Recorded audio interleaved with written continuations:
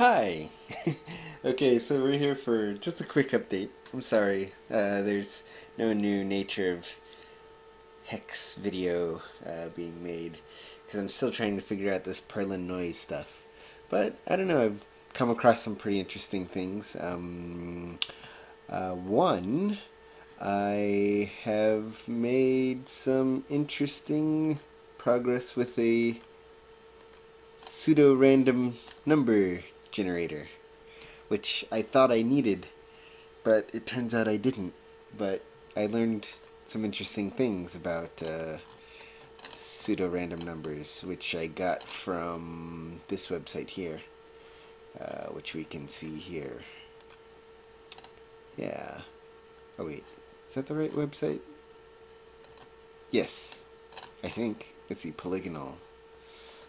Uh, yeah, Polygonal. Yeah. Um, I don't know. You should take out check out this uh, uh, bit if you're interested in uh, pseudo random number generators, and uh, they're kind of weird sometimes.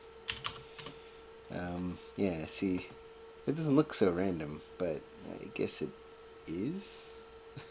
but yeah, you need to work with larger numbers uh, for it to be more random. And then uh, I've made a little bit of progress in the way of the noise generator. Uh, mostly copying this pseudocode um, on this website, which is freespace.virgin.net Hugo Elias models in Perlin. Um, I'm running into some issues, not sure if I'm doing it right. I seem to be getting kind of, uh, you know, noise. Let's see, that should run here in a second. Yeah, I've got a bit here. It's kind of, right now the noise function is returning numbers between negative, uh, 1 and positive 1.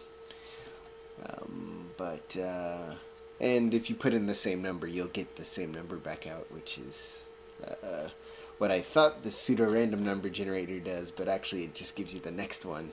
I'm, I'm sure I could tweak it to give uh, the same number, but um, then the other useful aspects of it don't work. So I decided just to make this its own thing and then work on noise. But uh, yeah, sorry. Um, I've been really busy at work. Been working like 12 hour days through the weekends. And that's because I live in Japan, and that's what they do out here sometimes. but uh, hopefully, before the week is out, I'll uh, have some Perlin noise for you. Until then, bye bye.